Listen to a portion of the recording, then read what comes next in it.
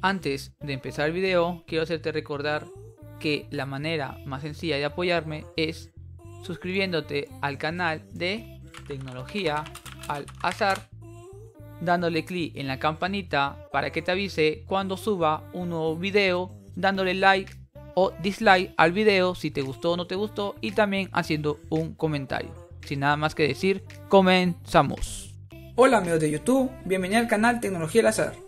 Hoy vamos a hacer el unboxing y primeras impresiones de los KZ EDX Pro que en el canal anteriormente ya hemos tenido los KZ EDX normales que me salieron buenos y pero con unos algunos detallitos que les explico en el video pero que siguen siendo recomendables. Esta vez les traigo el unboxing y primeras impresiones de los KZ EDX Pro que lo compré en AliExpress utilizando unos cupones de descuento y me salió alrededor de 7 dólares y el vendedor muy amable me regaló estos, estas gomitas adicionales.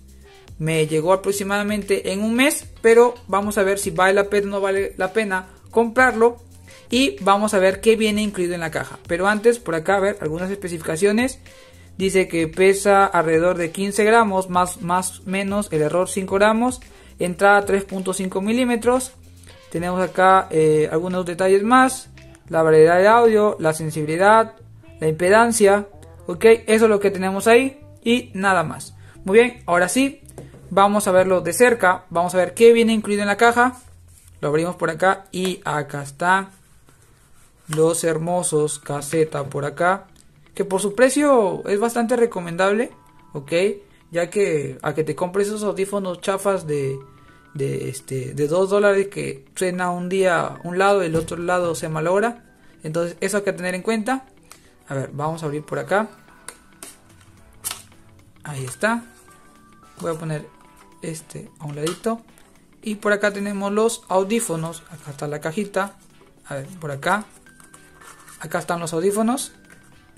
A ver por acá y luego por acá tenemos algunas gomitas blancas no sé si lo verán Ahí están algunas gomitas blancas. Lo pongo a un ladito. Y por acá encontramos su cable y el manual de instrucciones. Bueno, como es un son audífonos con cables, creo que no tendrá, a ver, cómo colocarlos, ok, y cómo conectarlos los audífonos con el cable de 3.5. Ahí está. Y nos dan algunas cositas más, ok, que luego eh, les explicaré en la review qué tal eh, si vale la pena o no vale la pena. Y también les explicaré lo que dice en el manual. Ok, luego por acá, tenemos por aquí, vamos a dejarlo acá la cajita. Y vamos a sacar por acá los audio, bueno, el cable en pocas palabras. Ahí está el cable trenzado. Y lo tenemos acá. Como sabemos siempre, lo que compran caseta, no sé si, todos compramos caseta por acá, en los que están viendo el video. Estos, eh, estas entradas lo conectamos con los audífonos. Y ahí conectaríamos los audífonos de acá. A ver, vamos a sacarlo para verlo de cerca. Voy a sacar uno, ok, para no hacerlo más largo el video.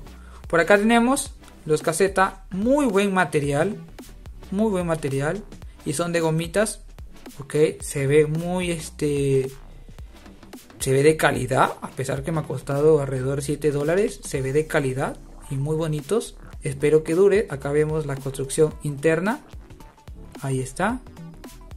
Y esperemos que dure. Ahora vamos a conectarlo acá con cualquiera de ellos y simplemente lo ponemos por acá. para, para enfocarlo mejor. Para que ustedes puedan verlo mejor. Acá lo conectas. A ver, déjame ver por acá. Ahí está. Lo conectas y ya puedes utilizarlo. Ok ya puedes utilizar se, utilizan así como dice el manual pero a ver sería así o sería para el otro lado a ver. Déjenme ver por acá. Ahí está. Entonces a ver más o menos sería así bueno ya poco a poco tendré que ver cómo se conectan y cómo se utilizan y así ya utilizarías los audífonos caseta EDX Pro. ¿Ok? Pero eso es lo que tenemos en la caja. Luego voy a ver qué tal es eh, la calidad de audio.